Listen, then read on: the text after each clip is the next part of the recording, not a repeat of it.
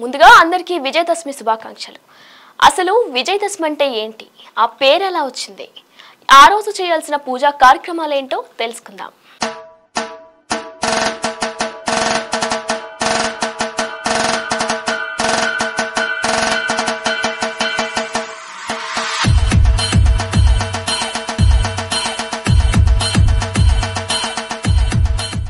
అధర్మంపై మతం సాధించిన విజయంగా దసరా జరుపుకుంటారు. అందుకే దీనిని విజయదశమి అంటారు. విజయదశమి అహంకారి రావణుని పతనాన్ని సూచిస్తుంది. రావణుడు వధించినప్పటి నుండి అసత్యంపై సత్యం సాధించిన ఆనందంలో ఈ పండుగను జరుపుకుంటారు. రావణుడితో పాటు రాముడు ఈ రోజున మహిషాసురునిపై విజయం సాధించాడు. అతని దుర్గతల నుండి దేవతలను విడిపించాడు. కామం కోపం అనుబంధం దురాశ వస్తువు అహంకారం హింస వంటి చెడు అలవాట్లకు దూరంగా ఉండేందుకు విజయదశమి పండుగ స్ఫూర్తినిస్తుంది. అధర్మంపై మతం సాధించిన విజయంగా దసరా జరుపుకుంటారు. అందుకే దీనిని విజయదశమి అంటారు. విజయదశమి అహంకారి రావణుని పతనాన్ని సూచిస్తుంది.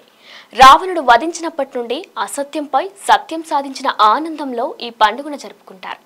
రావణుడితో పాటు రాముడు ఈ రోజున మహిషాసురునిపై విజయం సాధించాడు. అతని దుర్గతల నుండి దేవతలను విడిపించాడు.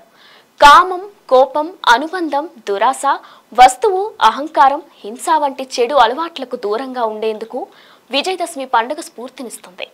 దసరా రోజున సూర్యోదయానికి ముందు స్నానం చేసిన తరువాత శ్రీరాముడు మాత సీత హనుమంతుణ్ణి పూజించాలి.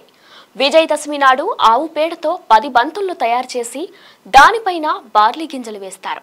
ఈ బంతులు అహంకారం దురాశ కోపం మొదలైన వాటికి చిహ్నంగా పరిగణించబడతాయి. రాముని పూజించిన తర్వాత ఈ బంతులు కాల్చేయాలి.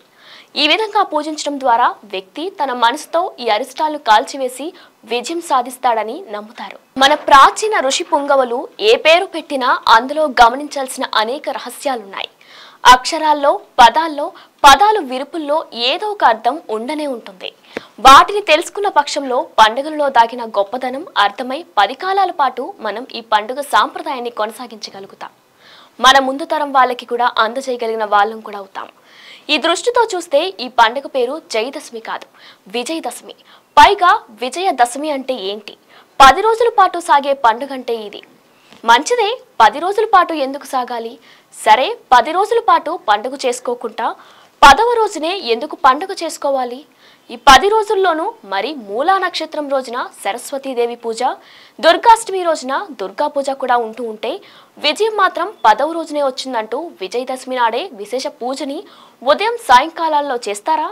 ఎందుకని ఇలా ఎంతగా ఆలోచించడం మొదలు పెడితే అంత ఆశ్చర్యంగానే ఉంటుంది కదూ? అందుకే ఇంకా లోపలికి వెళ్ళి ఆ రహస్యాలేంటో తెలుసుకుందాం.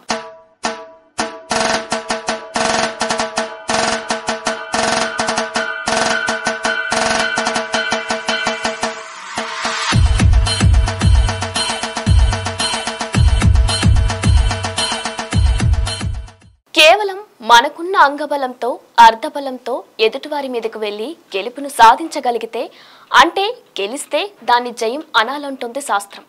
ఇలా సాధించిన జయం ఎప్పుడూ శాశ్వతంగా ఉండదట. ఇది నిజం కాబట్టే ఈ యుద్ధంలో గెలుపుని సాధించిన రాజు పైసారి యుద్ధంలో గెలుపుని సాధించని సందర్భాలు ఎన్నో కనిపిస్తాయి మనకు.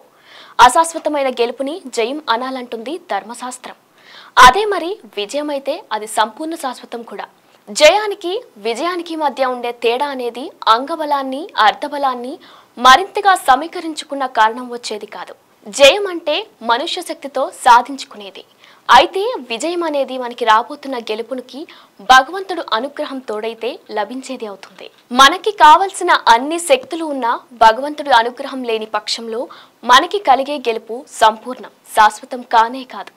ఇది నిజం కాబట్టే అర్జునుడికి ఉన్న పేర్లలో ఒకటి విజయుడు అనేది. అంటే ఎల్లకాలము అతను భగవంతుడు అనుగ్రహం ఉంటూనే ఉంటుంది సుమా అని తెలియచెప్పడం అన్నమాట. ఆ కారణంగానే అర్జునుడి కన్నా గొప్పవాలైన ఏకలవ్యుడు కర్ణుడు కూడా అతను గెలవలేకపోయారు. పైగా ఏవేవో కారణాల వల్ల ఓడిపోయారు కూడా. మళ్ళీ ఇదే అర్జునుడికి భగవంతుడు అనుగ్రహం అనేది ఆ భగవంతుడైన శ్రీకృష్ణుడు ఈ లోకాన్ని వీడి వెళ్ళినప్పుడు ఉండే వీలే లేకపోయింది. ఆ కారణంగానే అంతఃపుర కాంతలందరికీ రక్షణగా ఉంటూ ఆ స్త్రీలను తెస్తున్న సందర్భంలో దోవలు కొట్టే వాళ్ళంతా అర్జునుని మీద తిరగబడి అర్జునుని కావని బద్దలతో మోదారు అంటే ఏమన్నమాట? కృష్ణుడు ఉన్నంత కాలమే అర్జునునికి ఆ శక్తి ఉండి విజయుడయ్యాడు. ఆయన గతించాక అర్జునుడు కేవలం పార్థునుగానే మిగిలిపోయాడు. కాబట్టి జయమంటే గెలుపు.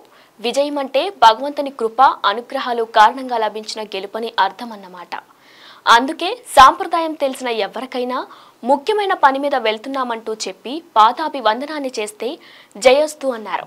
విజయోస్తు అని ఆశీర్వదిస్తారు. నీకు గెలుపు లభించుగాక దానికి పరమేశ్వరుని అనుగ్రహం ఉండుగాక ఆ కారణంగా నీది శాశ్వతమైన గెలుపుగా మారుగాక అని దాని అర్థం అన్నమాట తనంత తానుగా ఆ అమ్మే ఓ దేవత అవుతుంటే మళ్ళీ ఆమెకు గెలుపు కోసం మరో దేవతానుగ్రహం కావాలా? అప్పుడే కదా అమ్మ జయం విజయం అవుతుంది ఇదేమిటబ్బా అని మనకు అనిపిస్తుంది. రాక్షసులు దేవతలు అనే ఇద్దరు ఆయా స్థానాల్ని పొందింది. కేవలం తమకి తాముగా ఆచరించిన తపస్సు వలనే అంటే సాధించిన తపశ్శక్తి కారణంగానే. ఈ నేపథ్యంలో రాక్షసులు ఎక్కడ దేవతల్ని జయించలేమా అనే దృష్టితో మరింత మరింత తపస్సును చేశారు. వాళ్ళు ఎంత స్థాయి తపస్సు చేశారంటే తనొక్కతే గాని వెళ్ళి యుద్ధానికంటూ దిగితే చాలనంత. దాంతో ఆమె గణపతి నుండి పాసాన్ని కుమారస్వామి నుండి శక్తి ఆయుధాన్ని తన భర్త శంకరుని వద్ద నుంచి శూలాన్ని శ్రీ మహావిష్ణువు నుంచి చక్రాన్ని ఇలా అన్నిటినీ ధరించి ఆమె రోజుకు రాక్షసుని చొప్పున వధించుకుంటూ వచ్చి తొమ్మిది మంది రాక్షసులను వధించాక పదవ రోజున పదవ రాక్షసుడైన మహిషాసురుని వధించింది. ఇలా తొమ్మిది దాటి పదవ వద్ద కాబట్టి విజయాన్ని సాధించిన పదవ రోజు కాబట్టి విజయదశమి అయ్యింది.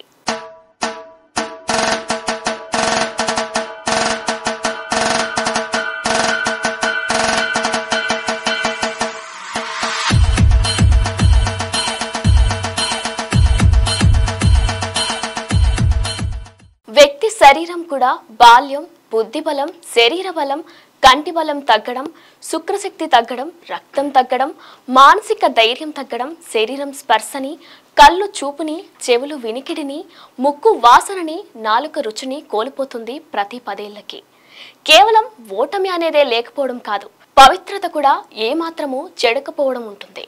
ఈ విజయదశమి రోజున. అమ్మవారు ఈ విజయదశమి రోజున జమ్మి చెట్టు నీడను ఉంటుంది. జమ్మి చెట్టునే సంస్కృతంలో సామి అంటారు. లోకంలో ఎక్కడైనా అపవిత్రత అనేది ఉండే చోటుగా శ్మశానాన్ని చెప్తారు ఎవరైనా. ఆశ్చర్యకరమైన అంశం ఏమిటంటే జమ్మి చెట్టు అమ్మవారు ఈ విజయదశమి రోజున ఎక్కడ ఏ ప్రదేశం ఉంటారో అది అపరిచిత స్థలం. ఆ జమ్మి చెట్టు మాత్రమే శ్మశాన స్థలాన్ని కూడా పవిత్రకరించగల శక్తి కలది. విజయదశమి విశిష్టతను తెలుసుకున్నాం కదా? మరొక కార్యక్రమంలో మరో అంశంతో మళ్ళా మీ ముందుంటాం. అంతవరకు సెలవు మరొకసారి అందరికీ విజయదశమి శుభాకాంక్షలు.